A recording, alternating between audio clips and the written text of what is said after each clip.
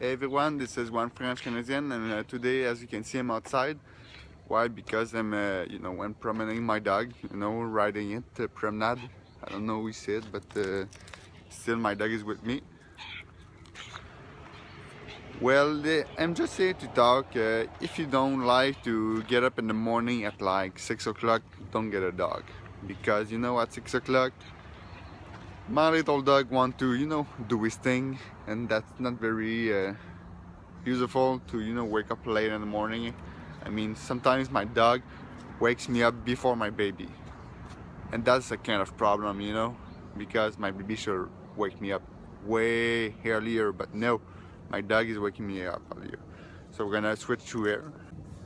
As you can see it's like six in the morning and she's still full of energy you know she's always you know pushing my leash pushing the leash so I always want to go somewhere I don't want to go. So think about it.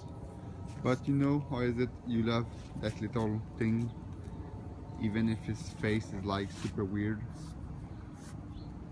And she doesn't listen to you at all. Still,